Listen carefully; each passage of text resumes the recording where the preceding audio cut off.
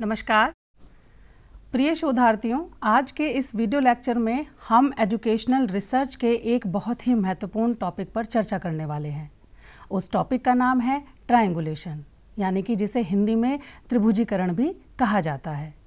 ये त्रिभुजीकरण क्या है और किस प्रकार से इसका शैक्षिक शोधों में यूज़ किया जाता है, आज हम इस बात पर मुख्य रूप से चर्चा करेंगे। तो चलिए शुरुआत करते हैं। तो सबसे पहले ट्रायंगुलेशन के अर्थ को हम समझेंगे कि ट्रायंगुलेशन का मीनिंग क्या है और ये कहाँ से अराइज हुआ है, इसका ओरिजिन कैसे हुआ है। तो ट्रायंगुलेशन नामक जो टर्म है, इसे नेवल मिलिट्री साइंस से लिया गया है। यह एक ऐसी प्रक्रिया है जिसका प्रयोग जो सेलर्स जो होते हैं, जो जहाजी जो होते हैं, वे समुद्र में किसी वस्तु की एग्जैक्ट पोजीशन का पता लगाने के लिए डिफरेंट रेफरेंस पॉइंट्स का इस्तेमाल करते हैं। अर्थात यदि किसी वस्तु का, किसी ऑब्जेक्ट का आपको समुद्र में पता लगाना है तो आप क्या करते हैं, उसको डिफरेंट लोकेशन से टेस्ट करते हैं डिफरेंट लोकेशन से उसकी जाँच करते हैं, उसकी डिस्टेंस देखते हैं तो जिससे हमें उस वस्तु की, उस ऑब्जेक्ट की एग्जैक्ट पोजीशन का पता चल जाता है। तो ये तो बात हुई कि नेवल मिलिट्री साइंस में इसको यूज़ किया जाता है, लेकिन यदि ओरिजिन इसका देखें तो जो इसका ओरिजिन है, वो आता है एप्लीकेशन ऑफ़ ट्रिग्नोमेट्री से। जो त्रिकोणमिति हम मैथमेटिक्स में पढ़ते हैं, वहाँ से इस वर्ड का ओरिजिन हुआ है।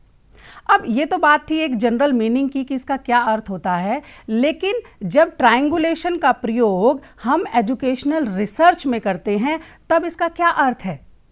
तो रिसर्च में ट्रायंगुलेशन को प्रयुक्त करने का अर्थ है कि जब कोई रिसर्चर किसी फिनोमिना की स्टडी के लिए, किसी घटना की स्टडी के लिए डिफरेंट टाइप के डेटा का यूज़ करता है है ना? डिफरेंट टाइप के डेटा का यूज़ का मतलब क्या है?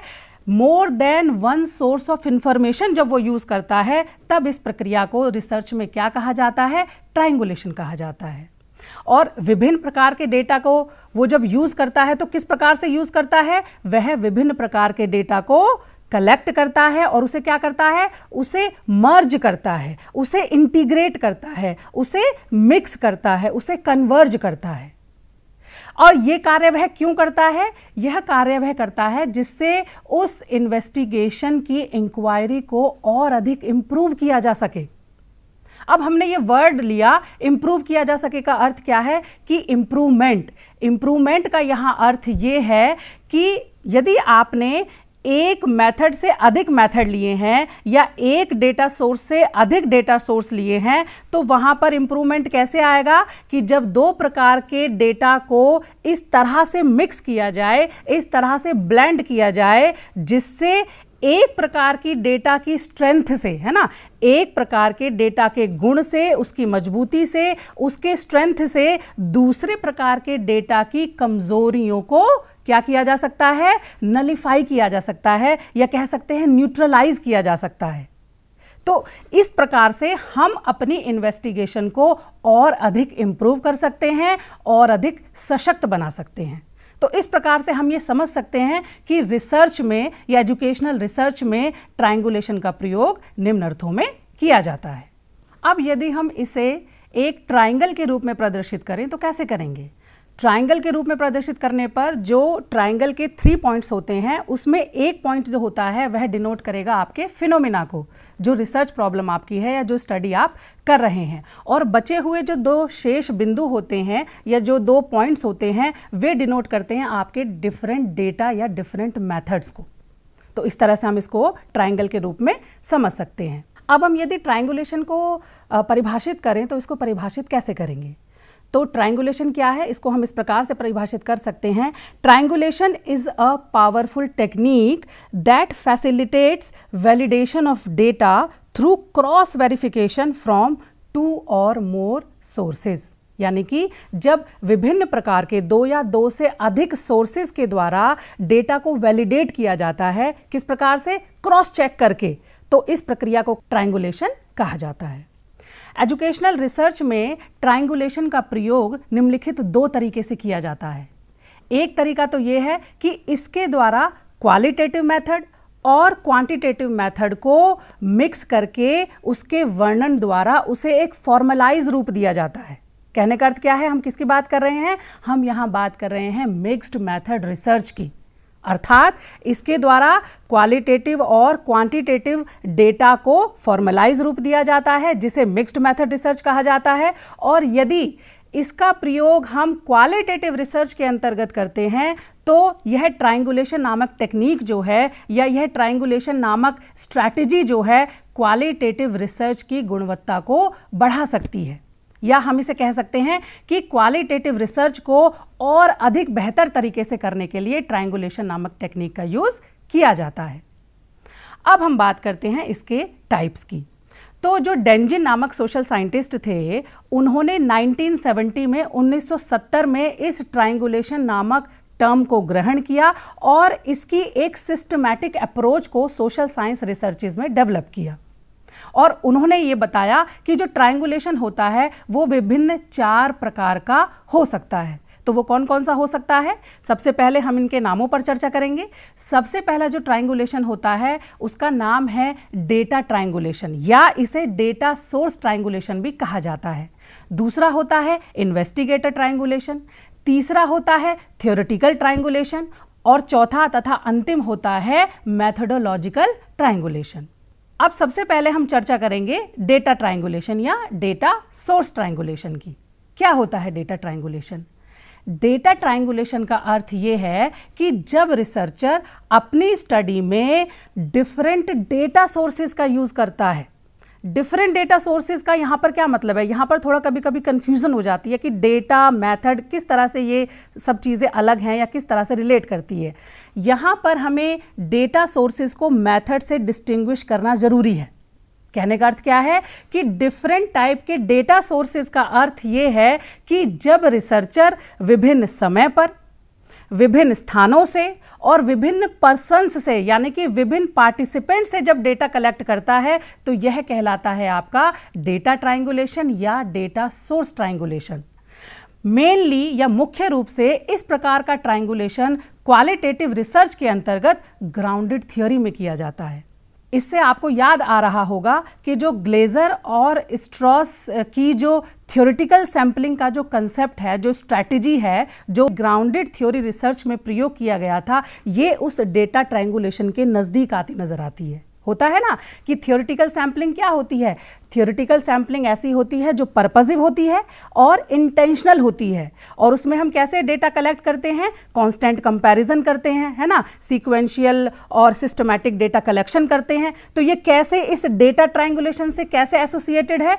ये ऐसे एसोसिएटेड है कि जब हम ग्राउंडेड थ्योरी में डेटा को कलेक्ट करते हैं तो कैसे करते हैं? विभिन्न समय पर डेटा कलेक्ट करते हैं। करते हैं ना, जैसे मान लीजिए रिसर्चर दो दिन गया, उसके बाद ये नहीं है कि एक बार में जाकर वो सारा का सारा डेटा एक या दो दिन या हफ़्ते या पंद्रह दिन में वो कलेक्ट कर लेता है। वो क्या करता है? बार बार फ़ील्ड में जाता है। तो इसे हम किससे कोरिलेट कर सकते हैं? कि वह विभिन्न समय पर डेटा कलेक्ट करता है।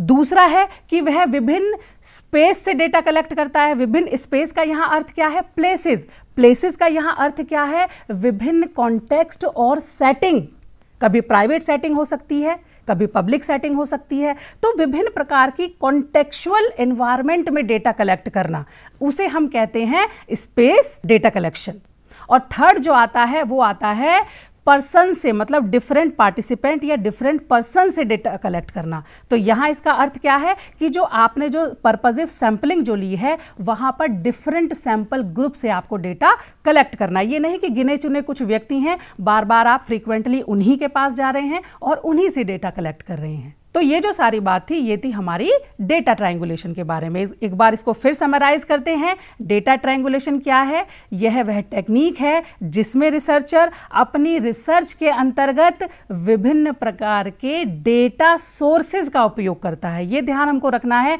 मेथड की अभी बात नहीं हो रही है। मेथड का अर्थ क्या है कि क्वालिटेटिव और क्वांटिटेटिव के मिक्स की बात नहीं हो रही है। क्यों? क्योंकि डेटा ट्रायंगुलेशन कहाँ यूज़ होता है? डेटा सोर्स या डेटा ट्रायंगुलेशन आपका क्वालिटेटिव रिसर्चेज में ही यूज़ होता है।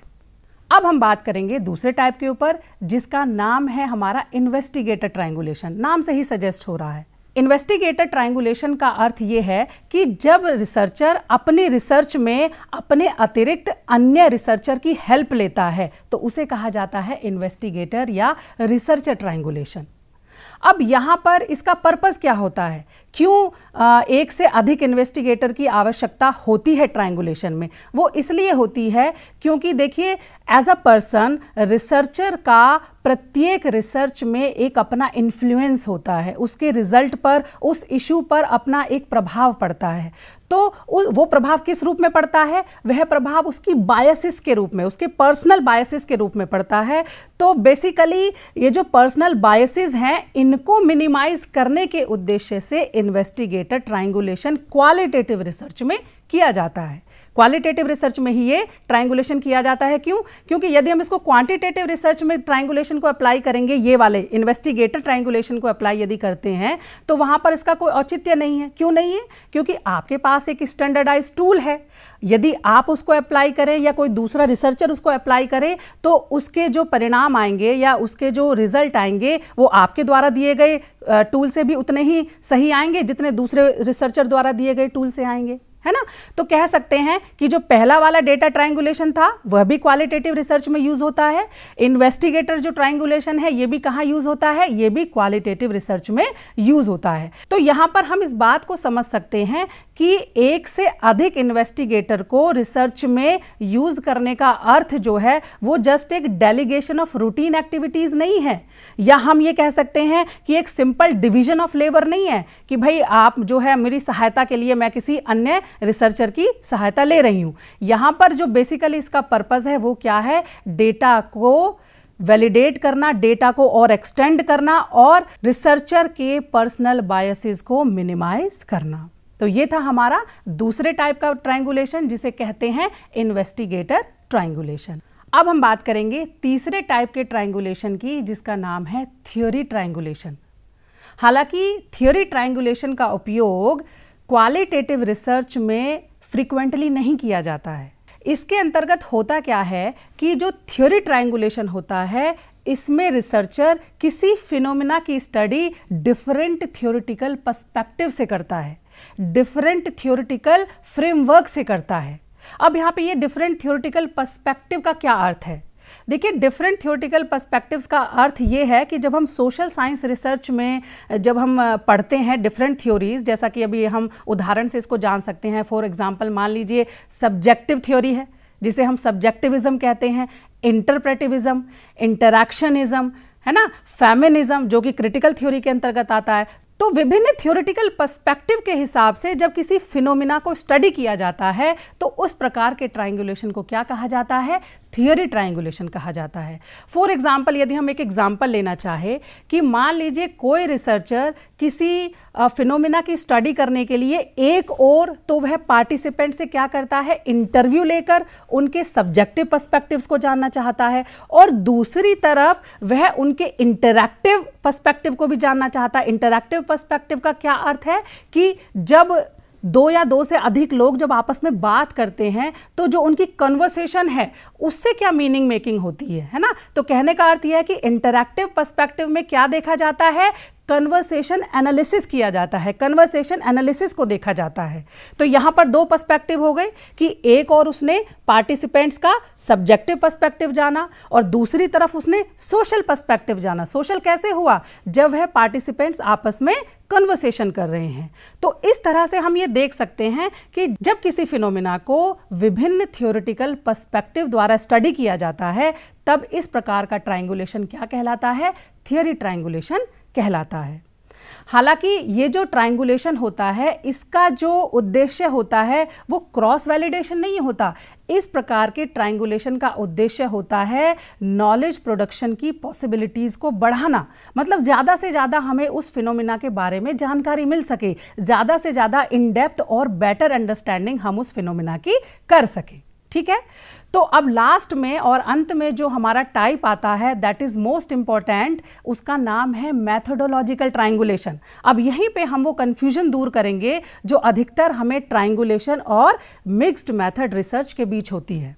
देखिए मैथोडोलॉजिकल ट्राइंगुलेशन का क्या अर्थ है? मैथोडोलॉजिकल ट्राइंगुलेशन वह ट्राइंगुलेशन है जिसमें रिसर्चर डिफरेंट मेथड्स का यूज़ करता है। अब देखिएगा डिफरेंट मेथड्स भी दो तरीके का है। ध्यान से देखेंगे हम उसको, ध्यान से सुनेंगे कि जो मैथडोलॉजिकल ट्राइंगुलेशन के अंतर्गत जब रिसर्चर डिफरेंट मेथड्स का यूज़ करता है तो उसे मैथडोलॉजिकल ट्राइंगुलेशन कहा जाता है। अब यह मैथडोलॉजिकल ट्राइंगुलेशन भी दो तरीके का होता है। एक होता है विद इन मैथड ट्राइंगुलेशन और एक होता है बिटवीन मैथड ट्राइंगुलेशन पहले हम बिटवीन मैथड ट्राइंगुलेशन की बात करते हैं, क्योंकि वहीं से मिक्स्ड मेथड जो है वो एमर्ज होता है।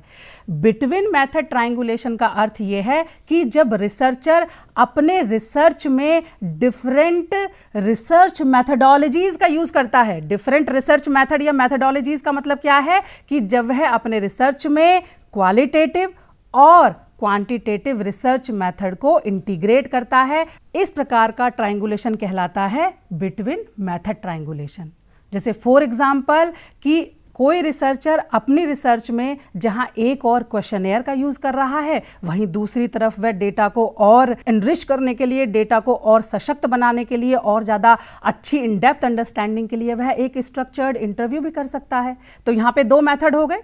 दो मेथड कैसे हुए? क्वेश्चनेयर कहाँ का मेथड है? क्वांटिटेटिव रिसर्च का मेथड है। और हमारा स्ट्रक्चर्ड इंटरव्यू या सेमी स्ट्रक्चर्ड इंटरव्यू भी कह सकते हैं। वो कहाँ का मेथड है? वो हमारा क्वालिटेटिव रिसर्च मेथड का एक डेटा कलेक्शन मेथड है। और यही जो है, जो हमने अभी क्वालिटेटिव मेथड और क्वांटिटेटिव मेथड के इंटीग्रेशन की जो बात की है, इसके मिक्स की जो बात की है, इसके ब्लेंड की जो बात कही है, वही कहलाता है हमारा मिक्स्ड मेथड रिसर्च तो हम इसको एक समराइज फॉर्म में ऐसे बता सकते हैं कि यदि हम ट्राइंगुलेशन और मिक्स्ड मेथड रिसर्च के संबंध की बात करें तो हम ये कह सकते हैं कि मिक्स्ड मेथड रिसर्च के अंतर्गत मैथडोलॉजिकल ट्राइंगुलेशन नामक टेक्निक का यूज़ किया जाता है। ठीक? अब इसका एक टाइप बच गया जिसका नाम है within method triangulation. Within method triangulation का मतलब ये है कि मैथडोलॉजी आपकी एक ही है। चाहे वो क्वालिटेटिव हो सकती है, चाहे वो क्वांटिटेटिव हो सकती है। उसके अंदर आप डिफरेंट मेथड्स का यूज़ कर रहे हैं। फॉर एग्ज़ाम्पल पहले क्वालिटेटिव की बात करते हैं। यदि आप क्वालिटेटिव रिसर्च करते हैं तो वहाँ पे मान लीजिए किसी एक रिसर्च क्वेश्चन की स्टडी करने के लिए आप वहाँ पर केवल एक डेटा कलेक्शन टूल का यूज़ ना करके दो या तीन डेटा कलेक्टिव टूल का यूज़ कर सकते हैं। फॉर एग्ज़ाम्पल यदि आप इंटरव्यू ले रहे हैं तो इंटरव्यू के साथ साथ ऑब्जर्वेशन भी कर सकते हैं, या उसके अतिरिक्त एक फोकस ग्रुप डिस्कशन भी ऑर्गेनाइज कर सकते हैं, है ना?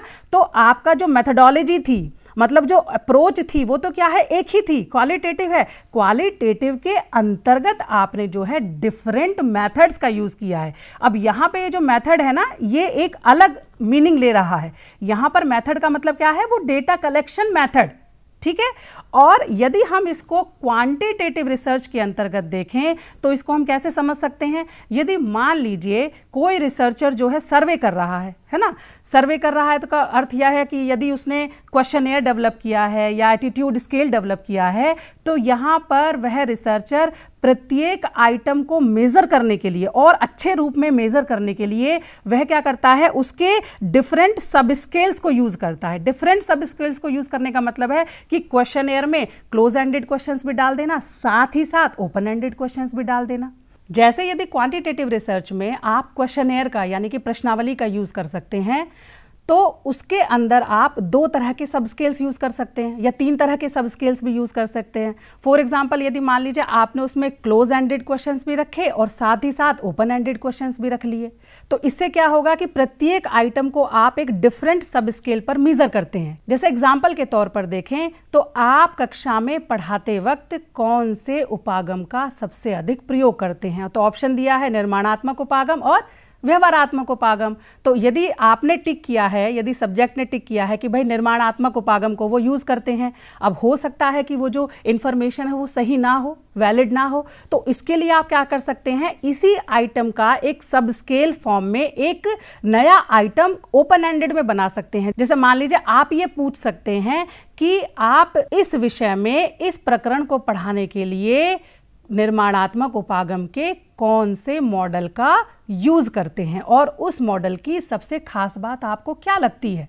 तो यदि ऐसा पूछा और यदि उस टीचर को, यदि वह उस उपागम को प्रयोग ही नहीं कर रहा होगा तो उसे उसके बारे में ज़्यादा पता ही नहीं होगा और जब ज़्यादा पता ही नहीं होगा तो जो उसका रिस्पॉन्स होगा वो उतना ज़्यादा ठीक या उतना ज़्यादा रिलायबल नहीं होगा। तो इस तरह से हम क्या कर सकते हैं कि एक ही आइटम को डिफरेंट सब स्केल्स पर जाँच सकते हैं। ठीक है? तो आज जो हमने ये ट्राइंगुलेशन नामक कंसेप्ट को समझा आशा करती हूँ आपको ये कंसेप्ट समझ में आया होगा। आगे आने वाले वीडियो लेक्चर्स में हम मिक्स्ड मेथड रिसर्च या अन्य किसी और प्रकरण पर चर्चा करेंगे। बहुत बहुत धन्यवाद।